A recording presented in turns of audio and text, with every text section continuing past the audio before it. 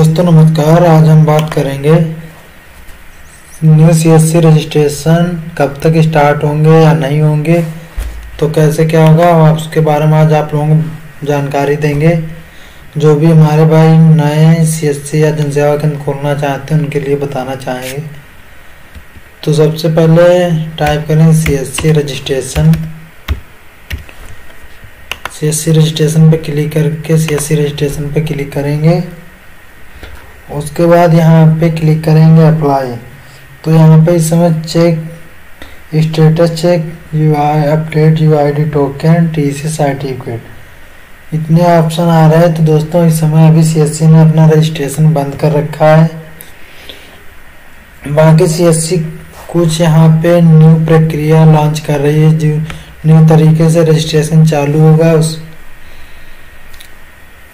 अपना कुछ अपडेशन कर रही पोर्टल में उस तरीके से। जब तक अपडेशन नहीं हो जाएगा, तब तक c s c new registration open नहीं होगा। जैसे कि नीचे लिख के भी आ रहा है VLE registration process is being revamped application as per new process will be allowed shortly kindly bear with us for some time inconvenience is regretted इसका मतलब अभी ट्रांसलेट करके आप लोगों को दिखा देते हैं।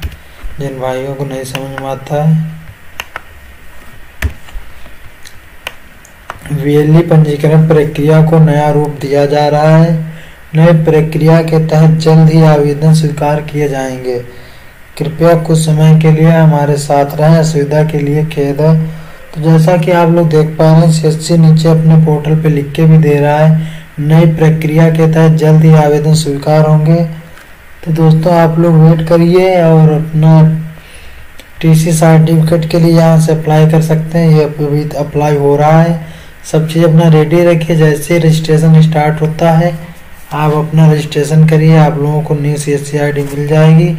New c s c i d के लिए सिर्फ़ टी सी सर्टिफिकेट का ही पैसा लगता है। बाकी सीएससी के माध्यम से अदर कोई भी पैसा नहीं खर्च होता है सीएससी सेंटर खोलने में। सीएससी आईडी लेने में बाकी सीएससी सेंटर पर सीएससी की ब्रांडिंग के साथ अपना सीएससी सेंटर चला सकते हैं।